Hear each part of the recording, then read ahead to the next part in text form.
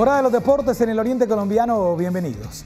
Novedades en Atlético Bucaramanga. Ayer el club informó de la salida de cinco jugadores y en las próximas horas se irían seis más. La buena noticia para los hinchas es que los uruguayos se quedarían para la temporada del 2022.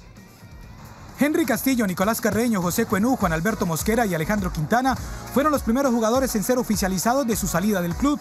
Sin embargo, otros que no continuarán serán Elíser Quiñones, Dubán Sánchez, Juan Asprilla, Santiago Montoya, Brian Fernández y Álvaro Meléndez.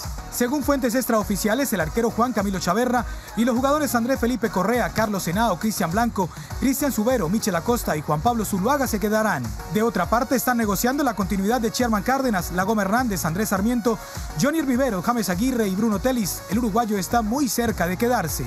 Un año que, bueno, lejos de la familia siempre es difícil, pero, bueno, que te acoja una ciudad como, como me acogió a mí, eh, se lleva mucho mejor, así que en lo personal positivo y agradecido con, con, toda la gente de acá. La institución busca la salida de Dubán Palacio, pese a tener contrato vigente hasta mediados de 2022.